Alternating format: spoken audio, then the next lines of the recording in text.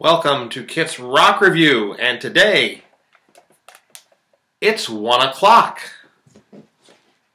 and it's time for lunch. Dum dee dum dee dum dee dum. That means today, on the 13th day of our month long tribute to the band Genesis, we are going to return to the album Selling England by the Pound.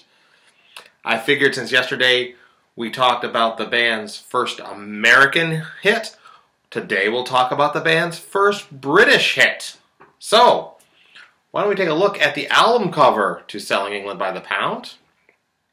I'll put as close to the screen as I can. This album cover is by a British artist. Let me get her name straight. Her name is Betty Swanwick.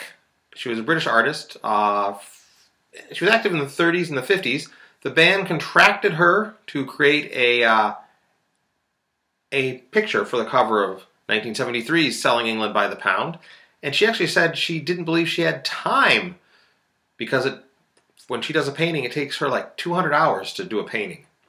But she gave them this painting, which is called The Dreamer.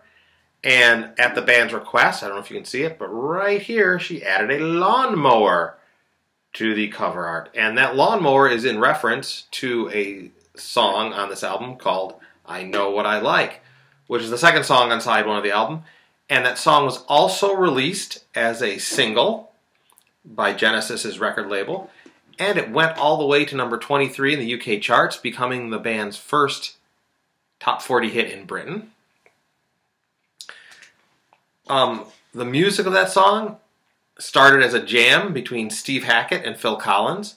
And then after Peter Gabriel heard it, he added some more musical ideas to it and wrote the lyrics for the song. Um, the band has said that after, as they were developing it, they were trying to sound like later period Beatles, you know, the uh, sort of Sgt. Pepper, Magical Mystery Tour, White Album, Yellow Submarine-ish version of the Beatles. And, you know, it's got a very psychedelic feel to it. Um, musically, you'll also notice in the song when you watch it in the comments, watch the video in the comments, you'll hear uh, it starts out with a moan, and that moan is Tony Banks. He had his Mellotron keyboard and he found the lowest note he could, and he just hit it to simulate the sound of a lawnmower. And the reason he's simulating the sound of the lawnmower is because lyrically the song is about uh, a groundskeeper, a young man who's a groundskeeper. And he has no ambition in life, He's happy with what he does. He just wants to mow lawns the rest the rest of his life and just enjoy what he does. That's what the song is about. And the song also makes reference, believe it or not, to the band Genesis in a, in a different way. One of the lyrics is Over the Garden Wall, Two Little Lovebirds. And uh, the name Garden Wall is the name of an early band, a pre Genesis band, that uh, Tony Banks and Mike and Tony Banks and uh, Peter Gabriel were in before Genesis formed. So this song actually, you know, being their first British hit, became a mainstay of the uh, Genesis set list throughout the years.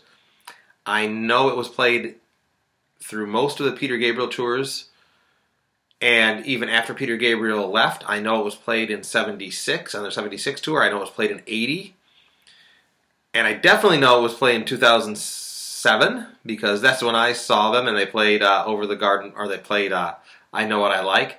And during that time, they took it on the video screen behind them. They had pictures from the band's early days. So I'm going to put the vi video for the song in comments. You let me know what you think of the song. And tomorrow we'll return with another in our uh, month-long tribute to the band Genesis. Genesis. Until then, everyone, keep on rocking in the free world, and I'll see you later.